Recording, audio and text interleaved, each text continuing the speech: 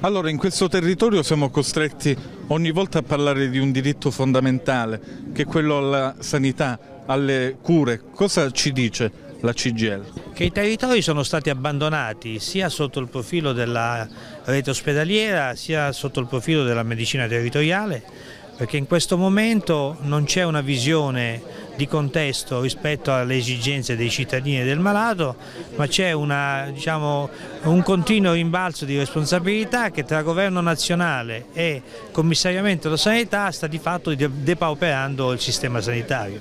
Stiamo notando che c'è un avanzamento progressivo della sanità privata in Calabria, quindi quello che in qualche modo ci viene, eh, eh di cui siamo preoccupati è questo diciamo, tentativo silente da parte del governo nazionale con il commissariamento della sanità di non assumere medici infermieri per favorire eventualmente la sanità privata. Il sistema degli accreditamenti sta andando avanti e ci dicono anche che eh, loro stanno abbattendo le liste d'attesa. Le liste d'attesa si devono abbattere nella sanità pubblica, non con la sanità privata che deve essere in aggiunta al sistema pubblico.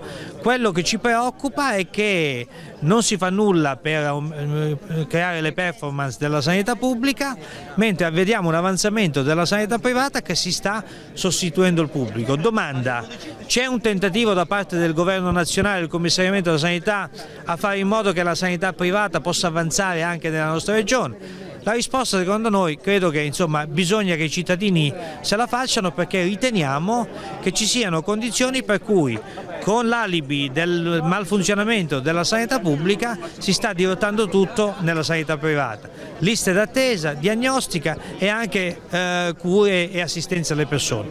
Così non va bene e noi siamo in piazza per denunciare queste cose. Eppure stiamo parlando di un ospedale che serve un territorio molto vasto come quello del Crotonese.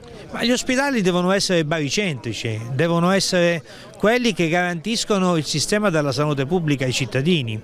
Invece si stanno depauperando, non si assumono medici e infermieri e si stanno depauperando anche da un punto di vista della diagnostica, ma anche da un punto di vista della strumentazione diagnostica, perché gli ospedali sono quelli che non hanno più ormai servizi di diagnostica eh, diciamo, efficaci perché anche il sistema della strumentazione è stato bloccato, cioè questo governo blocca gli strumenti per la diagnostica che nel frattempo tempo aumenta nella sanità privata, così sta costringendo le persone a non rivolgersi più agli ospedali che tra l'altro hanno una fatiscenza sia dal punto di vista infrastrutturale ma sia come carenza di medici e infermieri, spostando tutta nella sanità privata. Ci sono tutte diciamo, le condizioni per cui si può capire che c'è un disegno pianificato a vantaggio della sanità privata, del governo, anziché quella pubblica. Io le chiedo, secondo lei qual è il futuro di questo ospedale?